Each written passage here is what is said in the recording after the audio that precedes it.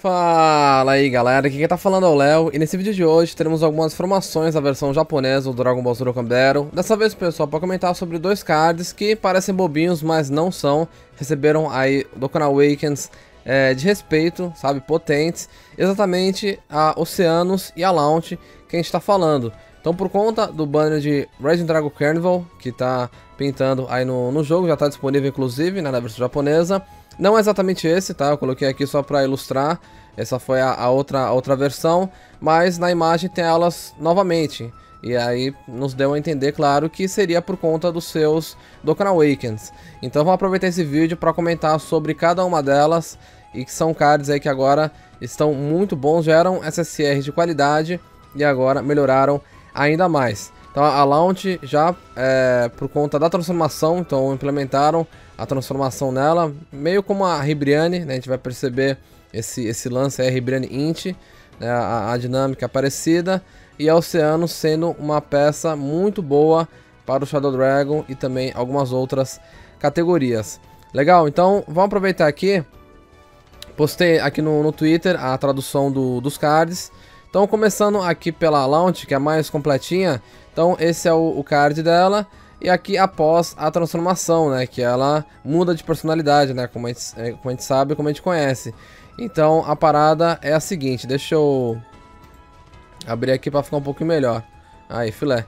Então nós temos a, a launch, né, do tipo físico, que já não tinha, na verdade não tinha nem tanto tempo que ela foi introduzida ao jogo. Deixa eu até confirmar aqui.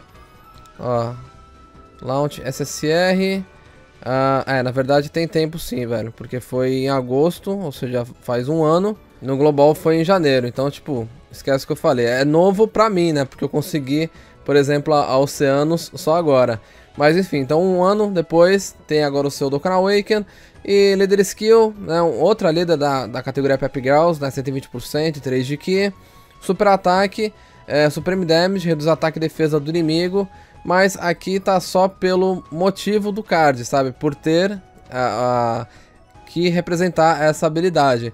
Porque na passiva ela simplesmente espirra e muda de personalidade. Então é aquela transformação que ocorre a partir do momento que o card aparece na batalha, né? Como a gente vê aqui por conta da, da condição. Então, chegou ali o turno em que ela em que ela tá presente, ela já se transforma. Então é o caso que eu falei da Ribriane Int né, que para não, não conflitar com as outras, né, por, no caso a Ribriane STR, eles mantiveram com o mesmo nome, só que ela faz a sua transformação assim que aparece. Então ela, ela muda e se transforma em Super Ribriane. E aí com isso você pode, pelo fato do card natural ter outro nome, você pode utilizá-las junto. Então se no futuro trouxerem outra launch foda pra cacete, vai dar pra utilizar elas juntas, né? Porque uh, essa daqui vai ter o, o, o, nome launch normal e a outra pode ser a launch após a transformação, né? Contra a personalidade, enfim. Então dá pra fazer esse, esse jogo. E, bom, os, já vou adiantar os links, que é Battlefield Diva, Flea, Metamorphosis, Berserker, The Incredible Adventure, Guidance of the Dragon Balls e Shatter the Limit. Então, linkzinhos aí muito bons, tanto pra galera do Dragon Ball Saga, quanto pra galera aí do Pep Girls que é justamente essas duas categorias, além do Earthlings e agora Transformation Boost. E aí sim, né, após a transformação, que é o que interessa, é, o Super Ataque Supreme Damage só agora reduzindo bastante ataque e defesa do inimigo. E na passiva ela ganha 120% de ataque e defesa e vamos lá. 3 de Ki, um adicional de 60% de ataque e defesa, uma chance alta de crítico, realiza dois ataques adicionais cada um tendo uma chance alta de se tornar um super ataque por 6 turnos a partir aí da primeira aparição dela. Então tudo isso a partir do 3 de que é referente ao momento que ela aparecer aí na batalha. Então começa a contar por 6 turnos a partir do momento que ela aparece na sua rotação. Então ganha mais Ki, ganha mais ataque e defesa, tem a, a chance de crítico elevada, tem dois ataques adicionais garantidos e que podem se tornar super ataques. Então, olha só, velho. E não fica por aí não. Ela sela o super ataque do inimigo atacado se houver outra aliada da categoria Pep Girls é, atacando no mesmo turno. Então, você tem qualquer outra garota aí dessa categoria junto com ela, é, vai ter a, a, garantia né, de selar o super ataque do adversário que, a, que ela tá mirando, né? Que ela vai atacar. Então, muito forte, né, velho? Legal demais esse, esse card, esse Dokkan Awaken. Então, é, você percebe que alguns cards que teoricamente seriam bobinhos, né? Ah, pô, peguei a launch aqui, beleza, né? Tá bom, vou deixar aí. Não, são cards que tem uma, uma representação, uma qualidade muito boa. Tipo, a gente pega, por exemplo, o caso agora do, do Global, a Kale e Caulifla base. Ah, tá legal, né? Bacana os cards, só que o Dokkan Awaken já veio para arregaçar o, o que já estava estabelecido. Então, é, são, são, são cards que tem uma certa qualidade, não tem tanta atenção, mas com o Dokkan Awaken a situação muda de figura. Então, cardzinho da Launch ficou legal pra caramba. E só pra, pra completar aqui o raciocínio, vamos dar uma olhada nas animações dela. Então olha só, essa daqui é a animação de transformação. Tá? Então ela espirra e se transforma, né? Muda aí a sua personalidade. E quem diria que a primeira transformação, né, e com cabelos loiros seria de uma garota, né, na, na série do Dragon Ball.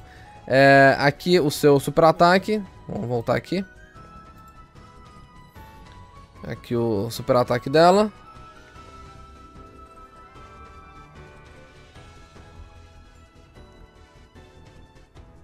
Boa. E aqui um fato muito curioso, porque ela... O, card normal, né, o card sem a transformação tem um super ataque, mas você não vai ver isso acontecendo, tá? É meio que um, super ataque com a, a transformação juntas, né? Aí no, no, num pacote só. Mas é, é, é, só pelo motivo do card mesmo, tá? Como o... Pro card constar né, na base de dados, para ele ser criado, eles têm que colocar, né? Que nem tem aqui a informação do super ataque, a passiva, né? E então o, a animação também está ali presente. Só que não vai ocorrer, porque ela não consegue mandar super ataque nessa, nessa forma. É porque a partir do momento que ela aparece, já transforma. Então é uma animação que tá ali, existe, mas você não vai ver ela ocorrendo. E é o que eu falei, pode ser o caso de tra é, trazerem depois outra launch e aproveitar essa animação aí para ela, ou um card gratuito, enfim, o que for, né, podem aproveitar essa, essa animação que a gente viu aqui. Então, mal barato, velho, achei, achei muito curioso, né, esse, esse fato aqui, ó, de até juntar a, o super ataque com a transformação, né, mais ou menos. Então, bacana. E cortesia aqui do Hydros, essas animações. E aí, o outro card é da, da Oceanos. E aqui fica pela pela tradução aqui do, do meu querido amigo Gabriel, tá, que disponibilizou aí pra gente. Então aproveitei aqui já, é, coloquei junto pra, pra informar a galera. E valeu, um salve especial pra você, tamo junto, só vamos. Então, é, a, a Oceanos lança o seguinte, também uma sublíder, só que do Shadow Dragon, 3 de Ki 120%, super ataque, aumento de defesa por um turno, causando Prime Damage e selando o super ataque do inimigo. Então já ajuda na parte defensiva, né, com esse aumento de defesa. E na passiva ganha aí 3 de Ki e 120% de ataque e defesa. Olha só que valores consistentes, né? E tem um adicional de ataque e defesa mais 60% e lança um super ataque se o inimigo atacado estiver com ataque ou defesa reduzido, ou seja, estiver com status de ataque e defesa reduzido. E aí você pega, por exemplo, né, Shadow Dragon, você tem lá o, o Omega, que faz muito bem isso, não só no super ataque, mas também na passiva, então já cria uma situação ideal para ela, porque com isso vai receber mais ataque e defesa, né, o fato de, do inimigo estar com defesa ou ataque reduzido, então já vai ganhar esse adicional de ataque e defesa e vai lançar o seu super ataque adicional garantido. E aí completa tendo seu ataque efetivo contra todos os tipos e uma chance alta de stun se o inimigo atacado estiver selado. Então, olha que bacana esse, esse lance. Como, a gente, como eu acabei de falar, né, se o adversário tiver com ataque e defesa reduzido, ela ganha mais ataque e lança um super ataque adicional. E a gente já sabe que no super ataque ela sela o super ataque do inimigo. Ou seja, lançou o super ataque, selou o super ataque do adversário. Aí vai ter o adicional, né, caso as condições óbvias sejam respeitadas, vai lançar outro. E aí como o inimigo já está com o super ataque selado, ela vai ter esse ataque efetivo e pode até stunar o adversário. Então, olha só, velho, que bacana a construção, né? A junção aí das suas habilidades acaba é, favorecendo muito esse, esse card dela. Então, né, novamente, se as condições forem respeitadas e se o evento permitir, né? Também não adianta nada querer fazer isso no evento que não dá pra selar, stunar ou reduzir ataque e defesa. Mas se permitir, ela vai fazer um estrago muito grande, como é o caso do Battle Road. Então você pode apavorar legal aí com ela no, no Shadow Dragon ou no Pep Gauss, né, já adiantando as categorias dela. Você pode utilizar ela aí para tirar uma onda bacana nesses dois estágios. E os links, Battlefield Diva, Metamorphoses, Code Judgment, Shadow Dragons e Speed Retribution, GT e Shatter the Limit. Então, alguns linkzinhos, né, no caso Shadow Dragon muito bom, né, para funcionar junto com, com Omega e com os outros dragões. E GT, né, um linkzinho de, de Ki para contribuir. E aí tem um outro lado também é, voltado pra, para as garotas, né, como eu falei da, da Launch, que é o Battlefield Diva, Metamorphoses, que é um link que a, a Ribriane, por exemplo, possui. A Launch, né, como a gente viu, Aqui também tem o, esse link. Então fica meio. É o que eu falei aqui. Ela tem um lado pro Dragon Ball Saga e um lado pro Pepe Gauss. E aqui da Oceanos é a mesma coisa, só que para o Shadow Dragon. Legal? Então, cardzinho dela aqui, muito bacana, até a arte ficou, ficou legal. E para fechar aqui o seu, o seu super ataque, olha só, vamos dar uma olhada aqui.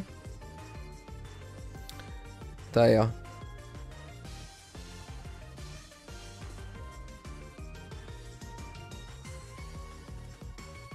Eu não sei se mudou alguma coisa, velho. Eu não, eu não... Bom, eu tenho esse card, mas não tive a oportunidade de usar ainda.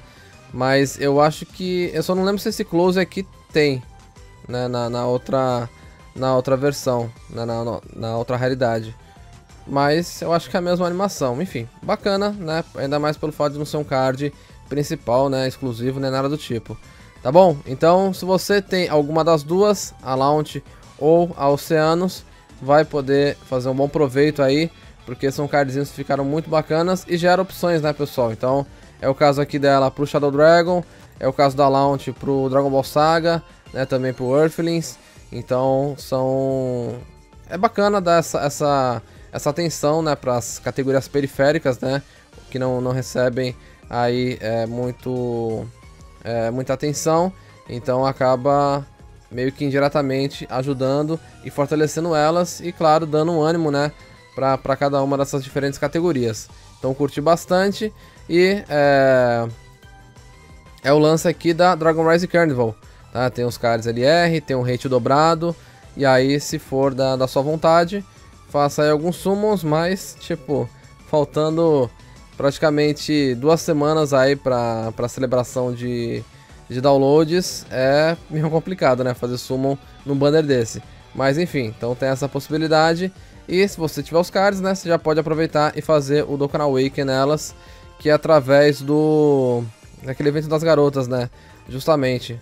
Tá? Com essas medalhinhas aqui, ó. Várias delas recebem o Dokkan Awaken. E aqui, ó. A trupe do JP não chegou ainda ao global. Bacana? Então, desse vídeo é isso. Era para comentar sobre, sobre essas duas. Então, se vocês é, tiverem, aproveite e diga aí o que acharam da, da melhoria desses cards. E enquanto isso, a gente vai aguardando aí mais informações né, para debater aqui e discutir sobre, sobre as novidades. Tá legal? Mas por esse vídeo é só, vai ficando por aqui. Espero que vocês tenham gostado. E se gostarem, não se esqueça aquele gostei e se inscrever se não for inscrito no canal. Então, eu vou ficando por aqui. Falou e até a próxima.